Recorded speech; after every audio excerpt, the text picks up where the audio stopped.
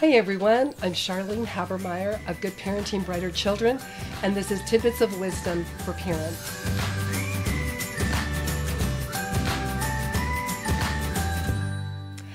I want to talk to you today about certain vegetables and fruits that are really amazing for the skin. A little bit of background I taught college for 10 years. I taught physiology, but it was specifically physiology of the skin. Now, these are college students, and there's been a big, huge interest in health and wellness and what's good for you and so forth. And of course, these students were very, very interested in any type of fruit or vegetable or whatever that they could eat to improve their skin. So I'm going to go through a few of them with you, not an entire list, but some of them to give you an idea of different types of fruits and vegetables that will help to improve your skin. Now, there's only about so much you can do because the one thing you want to look at is hereditary. You know, your ancestors. Um, look at your mom, look at your dad, and then look at their parents on both sides.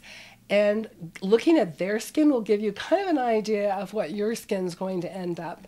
But there are improvements that we can make, and there are things that we can do. So all is not lost if you come from a gene pool that doesn't particularly have the greatest skin. So let's talk about some of them. First of all, bananas. Bananas are extremely high in all different kinds of important minerals. And people need to understand one thing about vitamins and minerals. They work synergistically together. In fact, your vitamins won't work at peak performance unless, unless there's minerals in your system, and vice versa. So, bananas are loaded with vitamins or minerals, particularly potassium.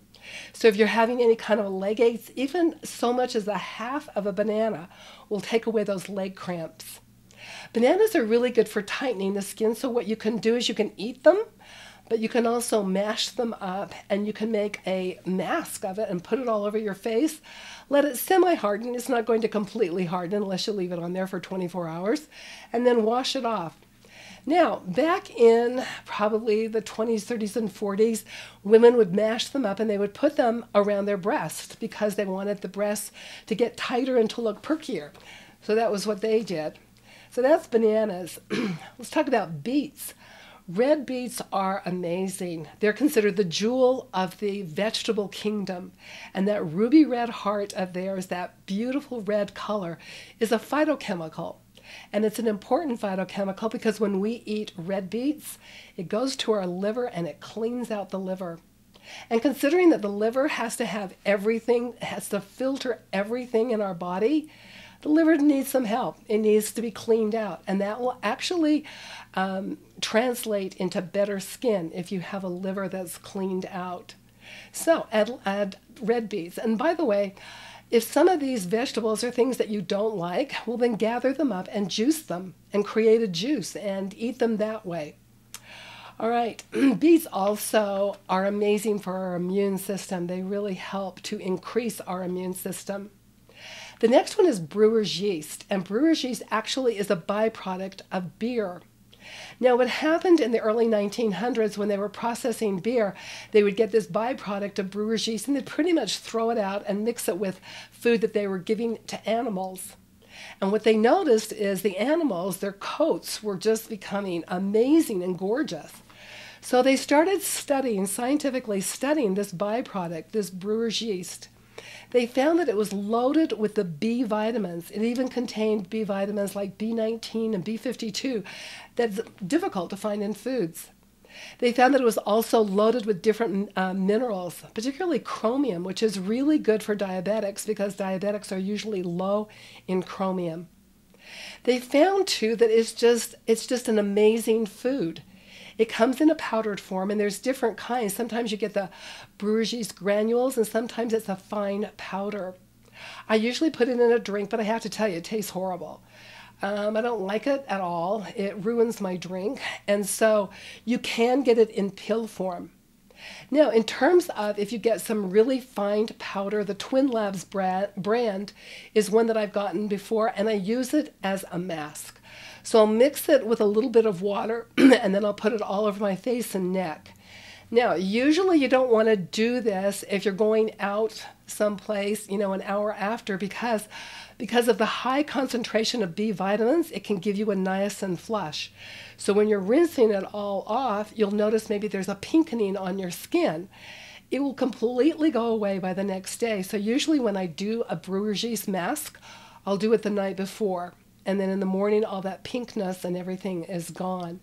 But it's incredible. It will also give you amazing energy. B vitamins give you energy. And it will you'll notice a huge difference. If you decide to add it to a drink that you're taking, one tablespoon is good. Now, one thing I did notice is my students who are vegans, they really liked brewer's yeast. We must have different taste buds. I didn't like it. okay, another vegetable is broccoli. Now, if you don't like some of these, figure out different ways to fix them. You can bake broccoli, it tastes much better and much different. But broccoli is full of vitamin A and vitamin C. Both of those vitamins are particularly good for the skin. Now, vitamin A helps with rough skin. Now, like carrots, you're getting the plant form of vitamin A. So when you take it in, your body has to convert it to the fat soluble form. Okay, it's usually a three to one ratio. So three parts to three parts of broccoli or carrots to one part of, of uh, the fat soluble. But broccoli has also an estrogen like compound called indoles that is also very, very good and very healthy for you and for your skin. Cabbage is another one. Cabbage really helps with your digestion. Anything that helps with digestion and the flow of bile so that you're getting rid of excess toxins and everything out of your body is always really good. Cabbage is also filled with A and C. Now, if you marinate cabbage, you're going to have sauerkraut. And actually, it's even easier on your system. And it does help your skin because of the vitamin A and the vitamin C. Carrots are good, and you can actually, I already talked, uh, mentioned that they have a lot of vitamin A.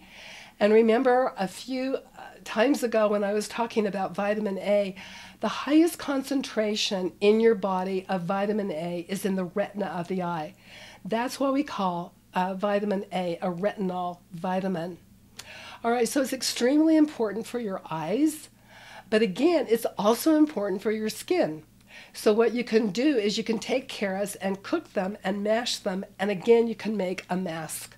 So, there's a lot of different things that I've told you. You can use bananas, you can use carrots, you can use brewer's yeast. All of those are inexpensive masks that actually feed the skin. Cucumbers, the skin of cucumbers, a lot of people, they peel off that skin. That's the part that you want. The cucumber skin contains silica, and silica helps with the elasticity of your skin. So you definitely want to get that silica that is found in the cucumber. Um, radishes also contain silica, so you want that. Now, one thing that I forgot to mention to you is a lot of these vegetables are high in sulfur. Definitely cabbage is, and parsnips. Okay, sulfur is a mineral and is the dominant element of your skin. In other words, your skin loves sulfur. So it loves things like cabbage and onions and garlic and parsnips, anything that has high content of sulfur, your skin is going to gobble up. So think, if you don't like those, then think of different ways that you can consume them because they will help with your skin. Parsnip is actually considered the beauty vegetable because of its perfect combination of minerals and vitamins. It has both vitamin A and vitamin C, but it also contains these particular minerals potassium, phosphorus, sulfur, silicone, chlor- uh, chlorine, and vitamin C. Parsnips are amazing for kids who are suffering from acne because it actually goes in and it helps to balance things. Acne is a tough um, issue because hormones are raging, oil glands are overproducing, overactive. And so, if you're feeding your body, and most dermatologists say, oh, chocolate and sodas, they don't make any difference on your skin, they most certainly do. Anything that has high in sugar is going to cause a problem with your skin. It's also going to cause problems with your bowel movements. So you're not going to be able to get rid of all the excess to- toxins. So think about parsnips. Parsnips are a winter vegetable. So you can get them, you can put them in soups, you can um, juice them however you want to eat them. Remember, it's a beauty vegetable. Grapes are also great. They help with the repair and the growth of connective tissue. Now, a lot of times when people have acneic skin, especially if it leaves scarring, you know, you want to rebuild that tissue behind the scar so it will help to heal the scar. So if you're eating grapes, and garlic also is another one that helps to rebuild tissue. Uh, cantaloupe helps with melan- uh, melanoma.